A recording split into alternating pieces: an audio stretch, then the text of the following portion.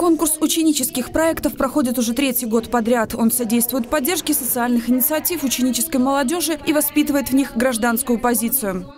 Конкурс проводится в два этапа. Сначала районный этап, где учащиеся школ района представляют свои лучшие проекты. Это бывают индивидуальные проекты, групповые, это могут быть даже общешкольные проекты, когда свой вклад в развитие этого проекта, в его разработку, внедрение вкладывают весь педагогический коллектив, ученический и родительский.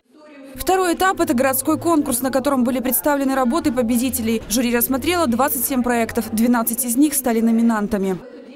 Мы проводим э, много, много разных конкурсов, собираем деньги на помощь онкобольным детям.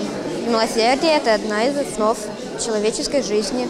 Она основана на некоторых аспектах моего семейного архива, так как известно, что именно мой прапрадедушка Семен Федорович Лазарев был председателем э, обкома, который в годы ВОВ участвовал в парти... Э, был командиром партизанского отряда, принимал участие в боевых действиях и спас немало мирных граждан.